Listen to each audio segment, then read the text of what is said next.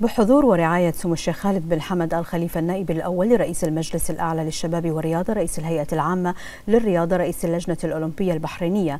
أقيم بفندق سوفيتيل الزلاق سباق ترايثلون للأطفال والذي نظمته بدعم من اللجنة الأولمبية البحرينية أكاديمية ذا ترايثلت فاكتوري وشهد السباق سعادة الشيخ سلمان بن خالد آل خليفة رئيس أكاديمية ذا ترايثلت فاكتوري وسعادة السيد فارس مصطفى الكوهجي الأمين العام للجنة الأولمبية والسيد عبد الله عبد السلام رئيس الاتحاد البحريني للترايثلون وعدد من المدعوين والضيوف.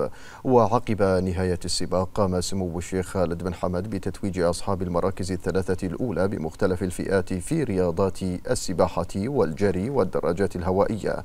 وبهذه المناسبة أعرب سمو الشيخ خالد بن حمد الخليفة عن سعادته البالغة بهذه المشاركة الواسعة من الأطفال في سباق الترايثلون مؤكدا سموه على أهمية هذا السباق في تشجيع الأطفال على ممارسة الرياضة واعتمادها كأسلوب حياة صحي.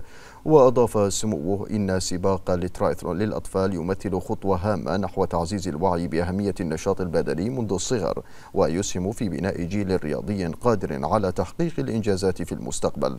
نحن نحرص على دعم هذه الفعاليات التي تعزز الروح الرياضية والتحدي بين الأطفال وتزرع فيهم قيم المثابرة والعزيمة.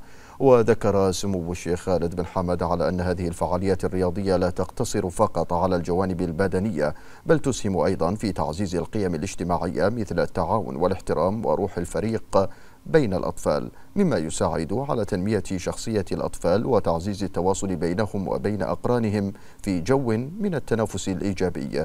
شاكرا ومقدرا سموه الجهود التي تبذلها أكاديمية The Triathlete Factory عبر هذا السباق السنوي لما فيه من متعة وفائدة للأطفال المشاركين متمنيا لهم دوام التوفيق والنجاح.